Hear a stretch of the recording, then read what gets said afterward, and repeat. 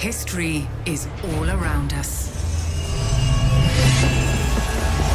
Those who made it have never been forgotten. Their daring choices echo across time, turning land into kingdoms and mortals into legends. If history was in your hands,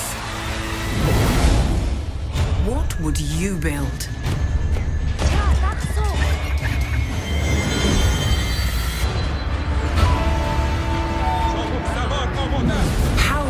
Fight?